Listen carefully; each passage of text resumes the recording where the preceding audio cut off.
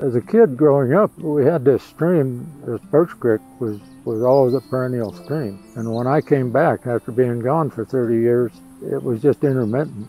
And I'm sitting at my kitchen table one morning and it dawned on me that there was no longer any beavers here. Nothing in the watershed as far as beaver ponds or activity. And I got to wondering, maybe the beaver deal is something that I need to look into. So I started reading and learning about beavers, and the more I learned, the more it made sense that we need them.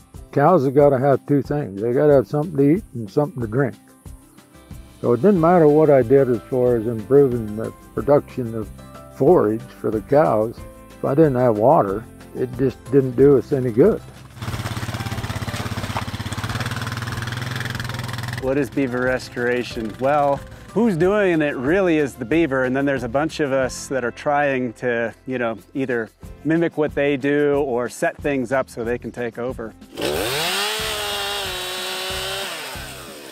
There's examples in the late 1800s, early 1900s of folks recognizing that when beaver were removed from the landscape, that we had undesirable things happening to the streams and tried to get beaver back in.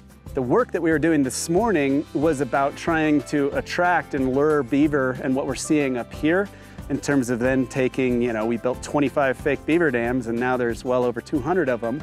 We treated a half kilometer, now they're covering five kilometers and so what we're trying to do today is sort of help people see that sort of progression, right? Like downstream, we're just throwing sticks in the stream. Why are we doing it? What are we trying to attract? We're trying to attract beaver to do the work for us and then to keep that going.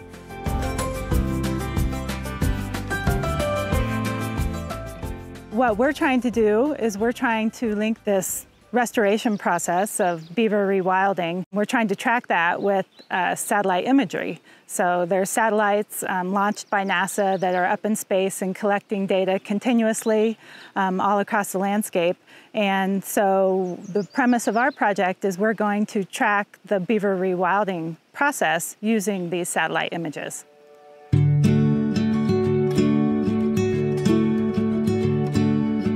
For folks who are actually implementing beaver rewilding, they have to put a ton of resources into monitoring the effects of beaver rewilding. So they have to hike to remote places and they have to do that multiple times per year.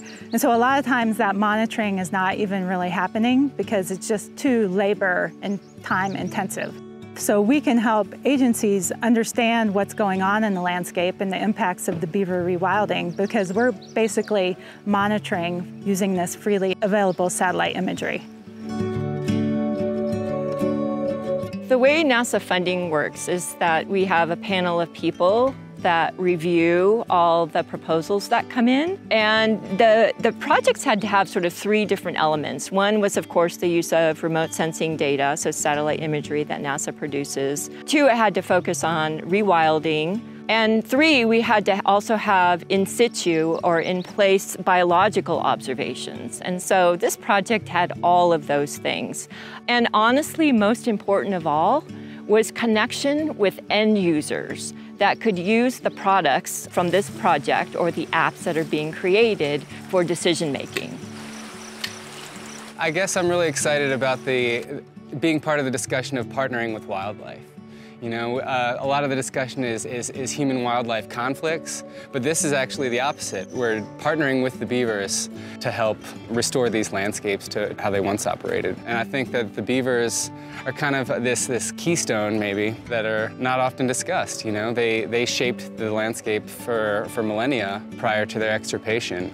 Since then, everything's kind of changed uh, for the drier, and so we're hoping that, that in, in partnering with Beaver, we can really kind of make the wetter parts wet again. After the beavers came in, we're getting 42 days longer flow than what we had pre-beaver. So that's pretty valuable, you know, from, a, from my standpoint.